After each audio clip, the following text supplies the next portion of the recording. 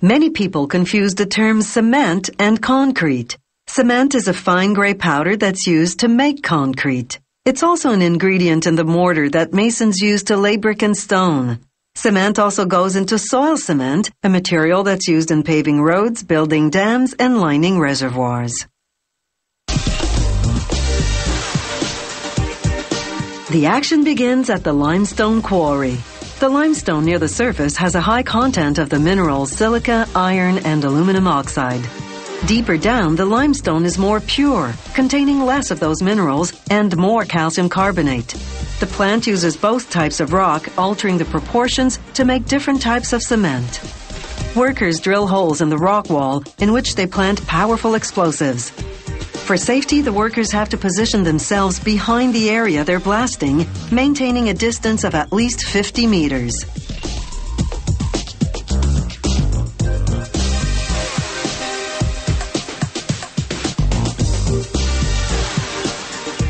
After the explosion, loaders move in.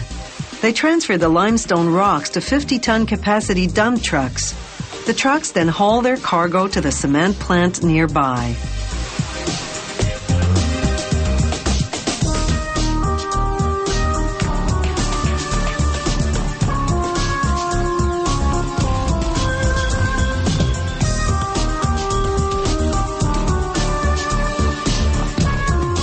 At the plant, the trucks dump the rocks into what's called the primary crusher. The rocks can be as big as a piano. The primary crusher reduces them to about the size of softballs. There's a constant spray of water to keep the dust from billowing up and settling on the chutes.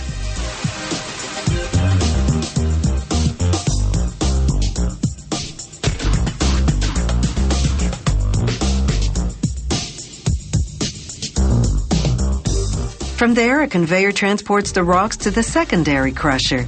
It reduces them further to about the size of golf balls.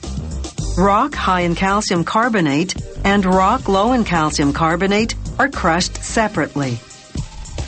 Now it's time to mix the two. The ratio varies according to the type of cement they're making.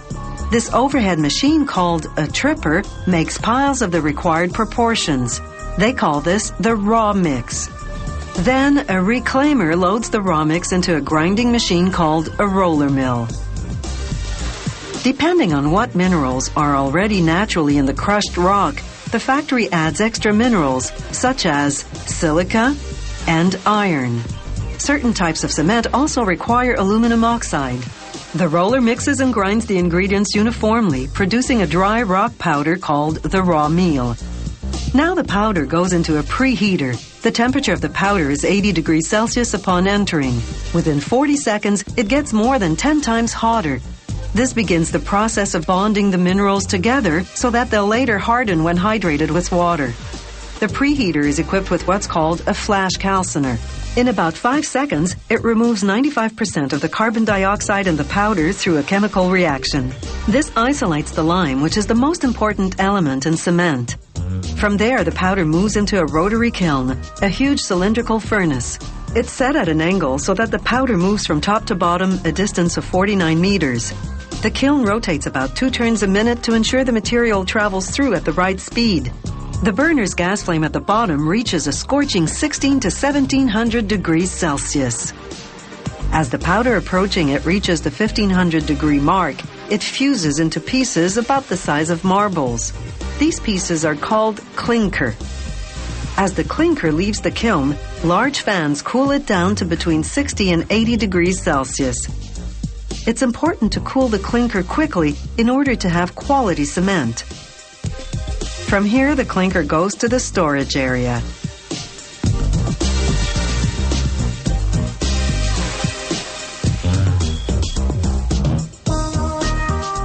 The last stage of cement making is called finish grinding. They add some gypsum to the clinker. The precise amount varies with the type of cement they're making.